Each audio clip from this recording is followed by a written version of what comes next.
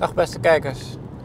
Peugeot opent met de nieuwe 3008 de aanval op de gevestigde orde door op allerlei fronten innovatie en verandering te tonen. Om te beginnen het uiterlijk. Een scherp gesneden koets kun je wel zeggen. De koplampen worden deels doorkliefd door de voorbumper, wat er goed past bij het katachtige van Peugeot. Net als de achterlichten die doorlopen in de flanken en vooral in het donker een echt Peugeot profiel geven. Het zwevende dak achter is ook een element dat we steeds vaker terugzien op auto's en dat echt dynamiek geeft aan het design. De auto staat redelijk hoog op zijn poten, zodat hij ook in de wat ruigere omstandigheden zijn mannetje staat. Een fraai detail is dat je bij het openen van de portieren welkom geheten wordt door een Peugeot-logo dat op de grond wordt geprojecteerd. Zeer stijlvol. Aan boord is echt te zien dat hier een grote verandering heeft plaatsgevonden. Het ziet er allemaal zeer futuristisch en modern uit. En ook lijkt het merk je een soort huiskamergevoel te willen geven met een speciale bekleding die je terugvindt in de deuren en op het dashboard. Op het gebied van kwaliteit zijn enorme stappen gemaakt. Zo zien we dat de focus op de bestuurder ligt en zien we dat de middentunnel afgescheiden is van de passagier. Alle knopjes voelen prettig aan in de bediening, maar ook qua degelijkheid voelt alles stevig aan.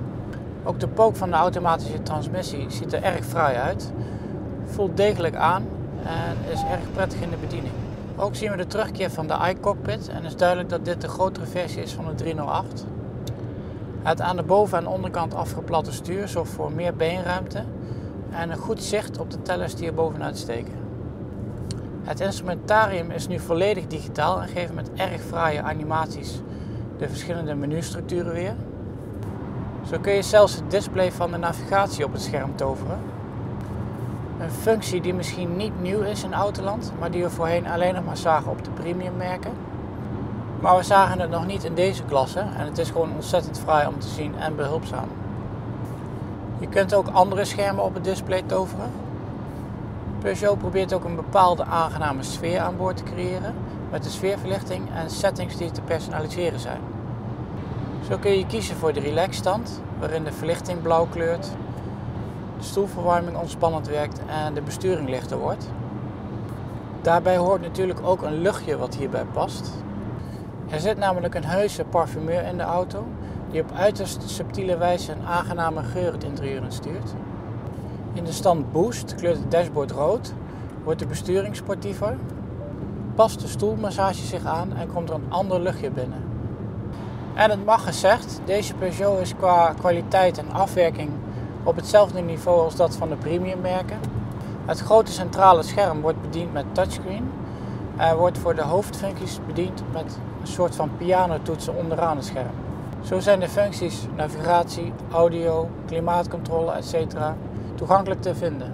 En bovendien werkt het systeem lekker vlot, zodat je niet hoeft te wachten op het laden van de menus. Dat de Fransen zich hebben laten inspireren door de Duitse premiummerken is duidelijk als je gaat zitten in de uitstekend zittende stoelen. Die zijn vrij hard, maar dat is juist goed voor de lange afstanden.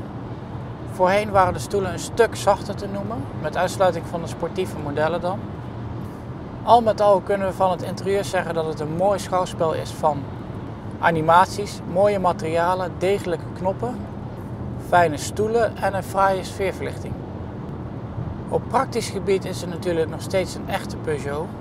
En daar het een SUV is, heb je meer dan voldoende ruimte als in zittende, maar ook om je spullen op te bergen achterin. Zo heeft de laadvloer een dubbele bodem en daaronder ligt een reservewiel.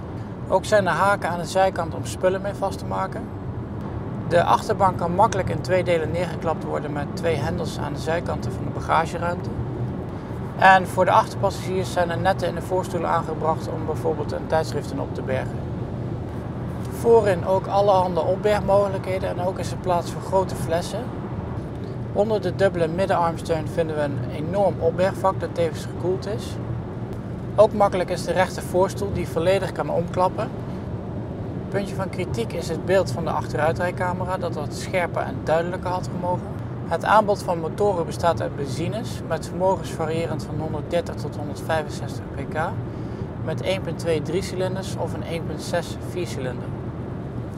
Op het gebied van diesels is de keuze uit een 1.6 of 2 liter met vermogens van 120 tot 180 pk. We rijden met de GT-line, die is uitgerust met de 1,6 liter 165 pk sterke 4-cilinder, die gekoppeld is aan de EAT6 automatische versnellingsbak. Het maximum vermogen wordt bereikt bij 6000 toeren, terwijl het maximum koppel van 240 Nm wordt bereikt bij een zeer lage 1400 toeren. Deze auto accelereert van 0 naar 100 in 8,9 seconden en haalt een top van 206 km per uur. De 1,6 liter motor met automatische transmissie is een goed huwelijk. De auto schakelt haast onmerkbaar op en terug en is daarin dus zeer vloeiend. Daarbij is de motor goed bij de les en accelereert de auto lekker vlot als het nodig is. Mocht het nodig zijn, dan kan de auto ook met schakelflippers bediend worden die zich achter het stuur bevinden. Peugeot zegt dat technieken die in de Dakar Rally worden gebruikt ook een weg vinden naar de productieversie van de 3008. Het is goed merkbaar dat er veel aandacht is besteed aan het onderstel. Het is zeer communicatief. Daarbij is het sportief afgesteld en lijkt het erop alsof de dempers zich kunnen aanpassen aan de omstandigheden. Ook het gripniveau is op de limiet goed te voorspellen en de auto voelt zelfs een tikkie sportief aan op het gebied van het onderstel. De besturing is in beginsel licht, maar kan aangepast worden aan de wensen van de bestuurder. In de sportmodus zal de besturing zwaarder worden, waarbij ook de automatische transmissie sneller zal reageren en de gasrespons sneller wordt. Het sturen met het kleine stuurtje gaat prima en gaat zelfs beter dan dat van de 308, omdat je hiermee makkelijke omwentelingen kunt maken.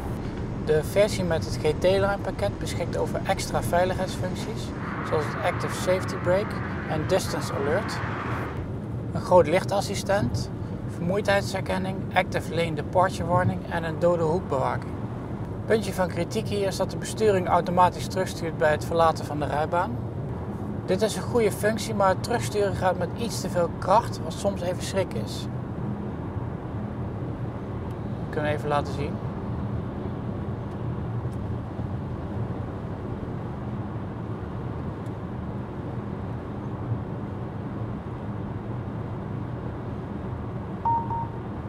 Dan zegt hij: neem het stuur weer over. Ook herkent het systeem oude strepen die soms dwars over de weg lopen en reageert dan plotseling daarop. Het werkt nog niet echt feilloos. Ook al leent de auto elementen van andere premiummerken, het blijft een hedendaagse en zeer moderne Peugeot. De stap naar meer degelijkheid, kwaliteit en wellicht ook sportiviteit is duidelijk aanwezig. Hardere stoelen, een stevige afstemming van het onderstel en een strak weggedrag zijn stuk voor stuk gebieden waarop de nieuwe 3008 kan concurreren met de Duitse en wellicht ook wel Japanse of Zweedse tegenhangers. Dit zijn de prijzen van de Peugeot 3008 SUV.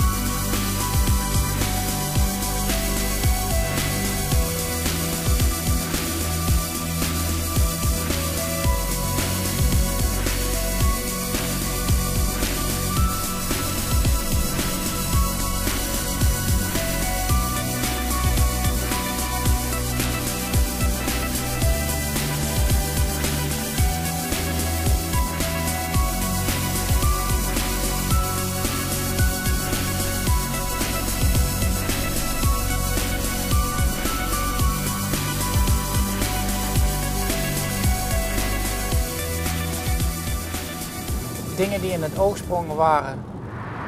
Op gebieden als kwaliteit, degelijkheid en innovatie heeft Peugeot uitstekend werk verricht met de nieuwe 3008.